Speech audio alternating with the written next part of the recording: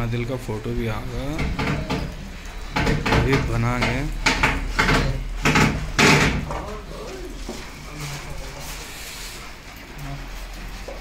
अभी तो ऐसे ही है ना इसको।